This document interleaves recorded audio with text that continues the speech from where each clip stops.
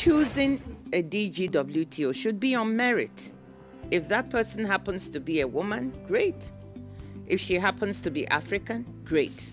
I hope it's a sign not only to women and girls in my country, but to women and girls worldwide that the world is ready. And